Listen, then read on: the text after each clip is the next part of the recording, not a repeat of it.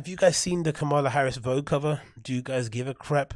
I do in passing. I guess there's a lot of there was a lot of um, hoopla about it on the social media feed. It was quite funny because I think a lot of people were basically getting annoyed because I think at first everyone thought it was Annie Leibovitz that took the pictures, and she, she's had a bit of a um, weird let's say fall from grace, but she's not exactly, I guess, received that well online. I don't know what it is. Maybe because she's white, maybe because her photographs are pretty shit. And the last ones I think she did, maybe with Serena Williams, people weren't too fond of them. They weren't lit, lit properly. There's a whole conversation around um, the lack of expertise with um, Caucasian photographers in terms of lighting, skin color that isn't white or whatever it may be, or is a bit darker, bloody blah blah blah. Um, and initially, everyone thought the images were done by Annie Leibovitz. It obviously wasn't. It was done by this other um, photographer, a black dude, New Yorker. I forgot his name, Tyler something, right? I think it is, right? So that, that was quite funny to see people walk it back. But in terms of actual images, uh, this is the main image, I think, for the actual cover itself.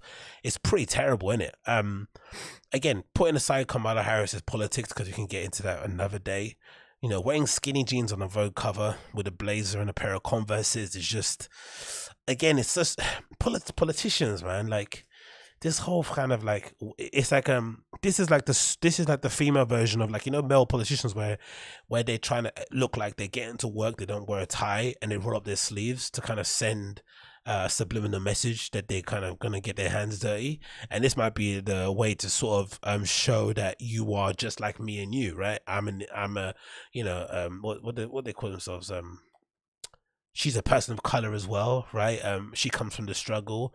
Um, she knows what it is to live the life that you're living. So here she is wearing a pair of skinny jeans from cons. She's gonna go get the work done. She doesn't take herself too seriously. Um, it's about giving back to the people, blah blah blah. But again, it is also weird because it's a really good mixture of like business casual or smart casual. I think it was an episode of Inbetweeners where like um, smart casual, casual smart, smart. Maybe it's an advert. It looks kind of like that, right? The top half looks like you know very, you know, I don't know, I don't guess don't say regal, but very uh, well done. And then the bottom half is just like, and then she's got the weird Joe Puma hands here, the annoying hands. Oh, you don't know what to do with your hands. You put them in a weird position. Just a very very bizarre cover to do, um, especially when you consider how they're trying to paint this as like such a mom- momentous thing. And you know again no one's kind of talking about um kamala harris's political um or, or especially her her history in the cause prior to this. So they point out to one side and just kind of propping up the fact that she's a person of color, um, that she's a woman, first woman vice president, blah, blah, blah, blah. You'd imagine the first cover would be a little bit more stately like, which is what you get in the alternate cover, which I much prefer. This cover is way better, right? It's her like in a sky blue suit, um, very well done, uh, an American pin placed there on one of her lapels. The hair even suits the outfit more because I think with this outfit, that's sort of like wafty sort of 50s American mum thing. Wife next door hair doesn't really suit the outfit, but with this outfit, it looks really, really good. And also, hides the, the the shoes. You don't get to see it. The only thing that's odd is the bit behind. It looks like a coffin, or is that meant to be a kitchen table? Uh, that's a bit odd too, right? She's in the kitchen, standing in front of a curtain. I don't know what that is all about, but maybe it's just a set design. But I think the second cover, the alternate cover, is much better. But I think this attempt for her to be somewhat relatable just doesn't come off that well. Um, skinny jeans, ankle showing.